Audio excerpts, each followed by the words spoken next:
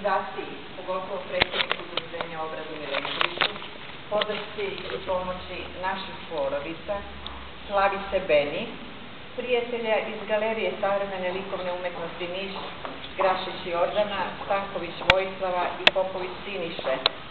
Na kraju molimo vas da ne budete suviše strogi kritičari, jer mi smo ipak samo amateri slikari, članovi Luka.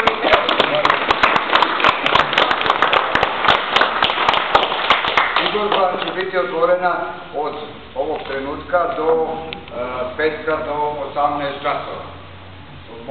Pogledajte vaše prijatelje da mogu dođe, da dođu da pogledaju, da se uvere u e, umetničke kvalitete e, naših današnjih gošći, odnosno slikara koje izgledu slike. Druga naša aktivnost koja ide odmah posle, posle ove i takođe je delo našeg kolege vojnog penzionera, pukovnika u, u penziji, Milorada Mosića.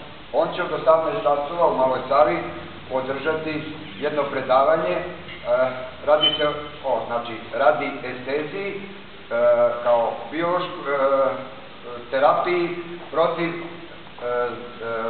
zrak, svetnih zračenja. U okviru predavanja on će prezentovati i svoju e, knjigu koju je napisao, a na osnovu desetogodišnjeg, desetogodišnjeg rada i e, iskustva u radi estetike. Zvanično proglašavam izložbu otvorenu.